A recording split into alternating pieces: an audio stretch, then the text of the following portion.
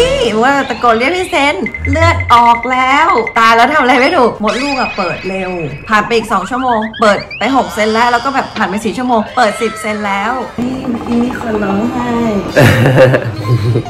ผมอยู่เจ็บ ตอนเอาเตอร์ซาวสามดีแรก ๆ ก็เหมือนมิวนะครับ ออกมาเหมือนพ่อมากเหมือนพ่อมากตาจมูกปากตัวไหนไม่เหมือนบ้างเอาปากกาวงได้หมดเลยโอ้โอ้โอ้โอ้โอ้โอ้นี่รูปคนหรือโมจิ มนุษย์แม่เริ่มต้นขึ้นแล้วว่า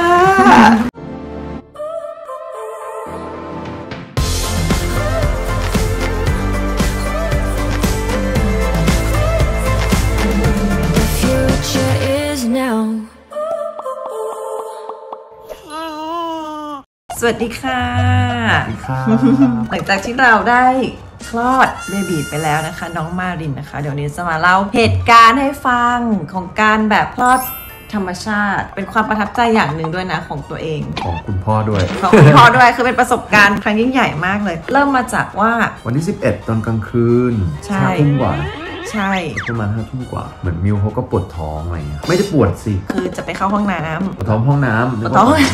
ก็คือปวดปวดปูปี้แหละรู้สึกแบบปวดปูปี้แล้วก็อะจะไปเข้าห้องน้ำปรากฏโอ้ยเห็นเลือดมันก็จะมีเหตุการณ์อยู่3อันที่คุณบอกว่าต้องมาโรงพยาบาลนะคะคือมีเลือดออกมีน้ำคล่ำคือเป็นน้ำใสๆออกมา หรือว่าเจ็บท้องต้องมาโรงพยาบาลซึ่งอันนี้เราก็มีเลือดแล้วเราก็เลยตกใจ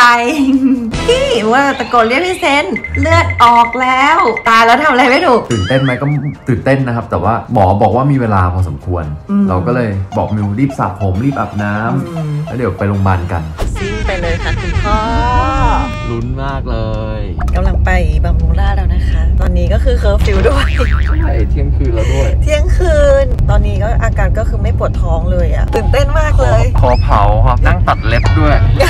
แล้ว พอตัดไปตัดมาเพลินๆคำถามพี่คือตัดเล็บเท้าด้วยเลยทันไหม ก็คือตัดเล็บเพราะว่ารู้สึกว่าเล็บยาวแล้วเดี๋ยวมันต้องคลอดคืนนี้จริง ๆ แล้วถ้าเกิดว่าเล็บยาวเดี๋ยวเล็บขนลูกก็เลยพาเท้าด้วยเหรอครับตัดเล็บเท้าไม่เกี่ยวรู้สึกว่าไม่ปวดท้องแล้วก็เลยเออหรือว่ามันยังแบบมีเวลาอยู่ก็เลยอะตัดเล็บเท้าไปด้วยเลยดีไหมอะไรอย่างนี้ รู้สึกแบบ อยากจะคลอดแล้ว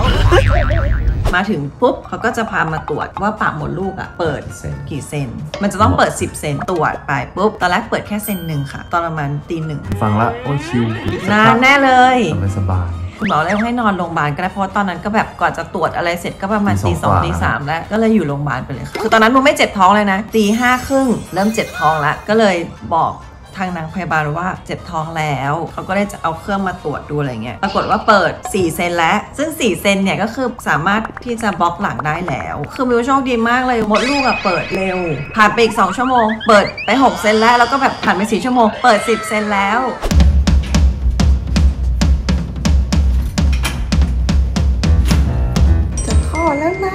ใกล้มาก ๆ แล้ว มีอะไรอยากบอกลูกกันไหมอาจจะทำให้ดีที่สุดเลยนะ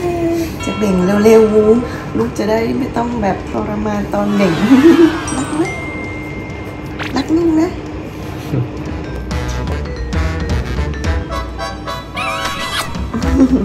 นี่นี่มีคนร้องไห้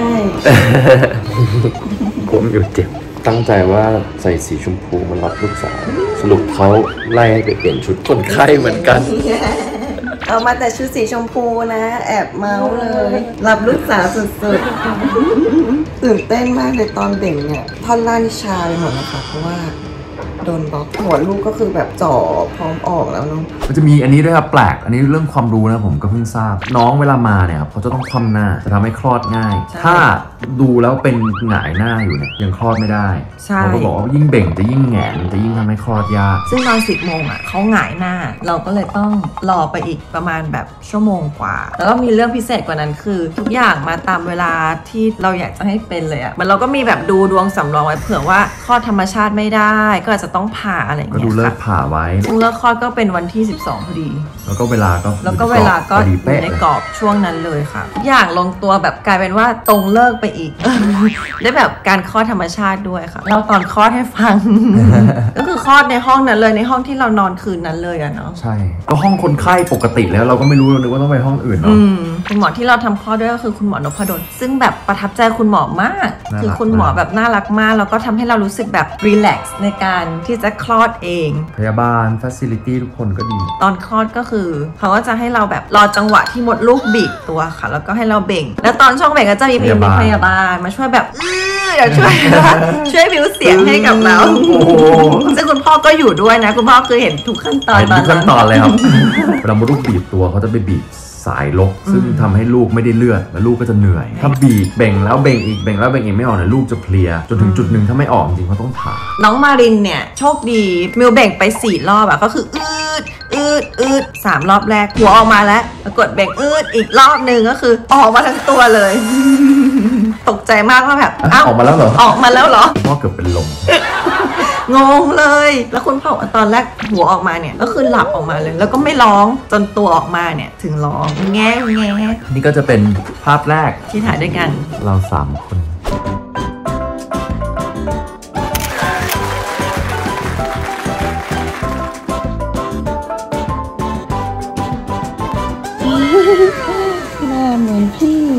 อะลืมทำให้ทุกครั้งหนึ่งหาวแล้วนอนเก่งแน่เลยเนี่ยเล่นตลกให้ลูกดูแต่ลูกหลับอยู่ เอาอะไรมาไม่เหมือนป๊าป๊าเนี่ยคุณป๊าป๊าหุ่นดู จะได้รู้เลยว่าลูกใครไม่ผิดคนแน่ตอนเอาเจ้าสาวสามดีแรก ๆ ก็เหมือนมิวนะครับ ออกมาเหมือนพ่อมากเหมือนพ่อมากตาจมูกปากตัวไหนไม่เหมือนบ้าง เอาปากกาวงได้หมดเลย เหมือนเลยเหมือนคุณพ่อเลย แต่เบบีเนี่ยเขาจะหน้าแบบปรับปรับๆไปเรื่อยๆเลยเนาะคือแค่ตอนคลอดออกมาเลยอะ่ะกับอีกหนึ่งชั่วโมงหลังจากนั้นน่ะก็หน้าก็เปลี่ยนแล้วอะ่ะใช่ครับ วันแรกที่เราเจอเขากับวันที่สองเขาก็หน้าเปลี่ยนนะวันนี้เขาก็จะอิ่มๆขึ้นหน่อย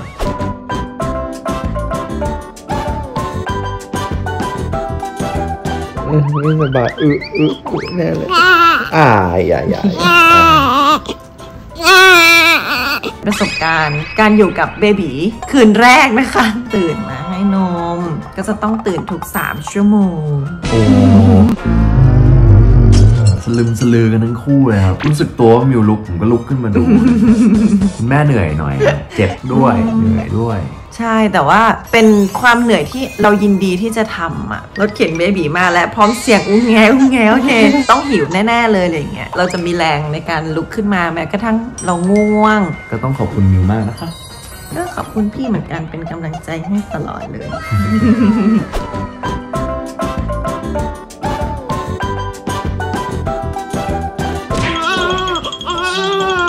โอ้โอ้โอ้โอ้โอ้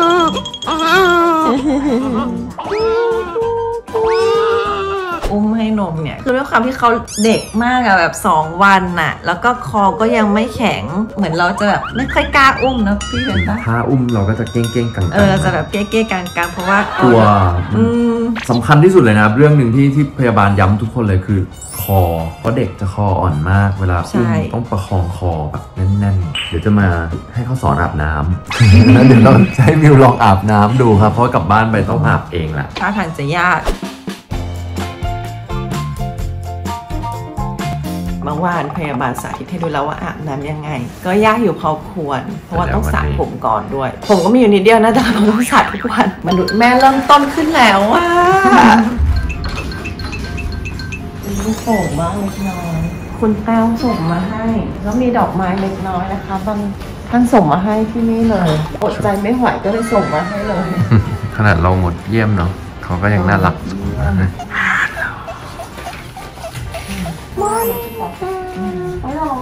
นี่อันนี้แทนที่แอบลืมตามาทีหนึ่งแล้วก็หลับต่อแหละน่ารักมากเลยใช่ไหม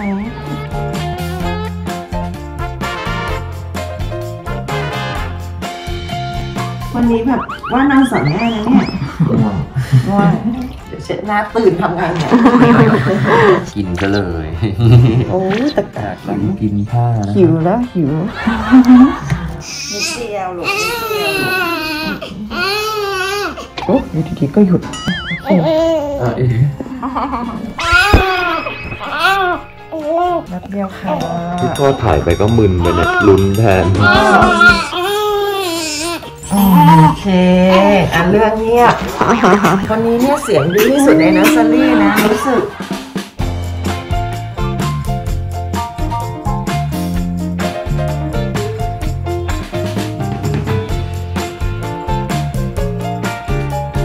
สั่นเลยปากสั่นเออหนาวหนาวหนาวโอ้หนาวหนาว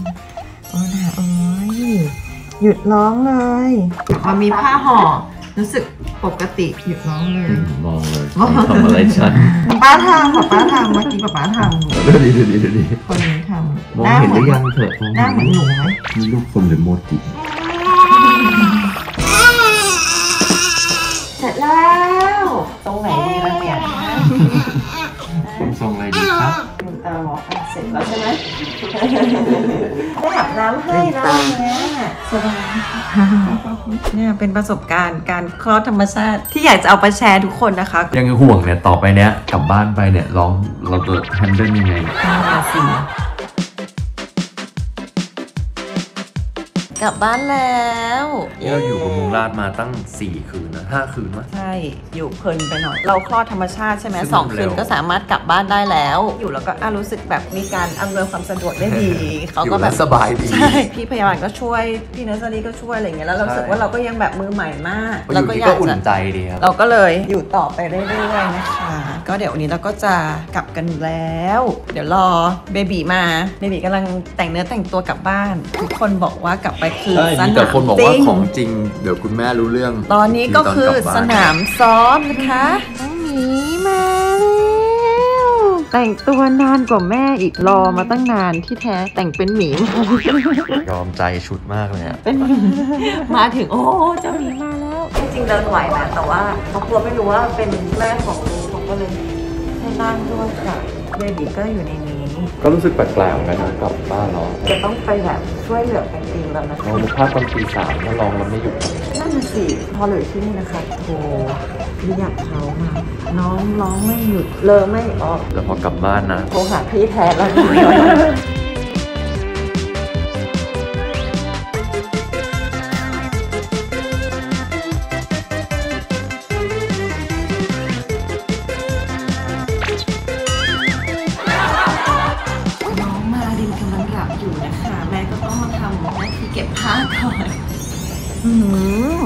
อมมากๆเลยนะคะ วันนี้เนี่ยมิวใช้ดีนี่ปรับผ้านุ่มแล้วก็ซักผ้าสีชมพู ก็จะเป็นกลิ่นแบบหอมแบบเบบีเบบีแล้วก็จะเป็นกลิ่นหอมดอกไม้อ่อนๆหอมโอ้ก็หอม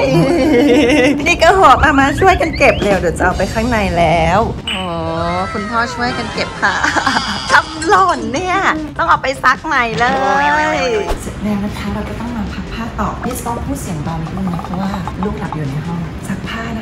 คะข อแนะนำเลยค่ะดีนี่มูชาเน่เมื่อกี้สีชมพูนะคะ ก็เป็นสำหรับเด็กนิวบอร์นแรกเกิดนะคะซักผ้าสะอาดขจัดคราบได้ดีนะคะ แล้วก็ที่สำคัญเนี่ยผ่านการทดสอบ Hypoallergenic Test ค่ะ ไม่ละคายเคยต่อผิวแรกเกิดแน่นอนค่ะแล้วก็มีกับผ้านุ่มด้วยใช่ อันนี้เป็นน้ำยาปัดผ้านุ่ม ควรมีติดบ้านไว้เลยทุกบ้านนะครับ ต่อให้ไม่มีเบบีก็ใช้ได้ เพราะเหมาะกับผิวที่แพ้ง่ายด้วย หอมฟุ้งในตู้เสื้อผ้าอีกน้ำยาปรับผ้านุ่ม D-nee นะคะ เป็นน้ำยาปรับผ้านุ่มที่แม่ๆเนี่ยเลือกใช้มากที่สุดเลยนะคะ สีชมพูเนี่ยจะเป็นกลิ่นหอมดอกไม้อ่อนๆกลิ่นหอม baby แล้วก็สีเขียวอันนี้ก็จะเป็นกลิ่น organic touch ค่ะ ก็จะเป็นกลิ่นหอมผลไม้เบาๆนะคะ ซึ่งหอมทั้งสองกลิ่นเลยค่ะมิวก็สลับกันใช้ไปเรื่อยๆนะคะ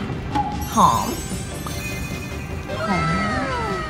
หอมมากจริงๆใช้ได้กันทั้งบ้านเลยนะคะ เพราะว่าบางทีเนี่ยคุณพ่อคุณแม่หรือว่าพี่เลี้ยงเนี่ยก็จะต้องอุ้ม baby ตลอดเวลา เพราะฉะนั้นการที่จะระคายเคืองต่อผิว เขาเราก็ใช้ด้วยกันทั้งบ้านเลยก็ได้ก็สามารถซื้อแบบเป็นแกลลอนเบอร์นี้ได้เลย มีแบบว่าใหญ่แบบนี้เลยค่ะ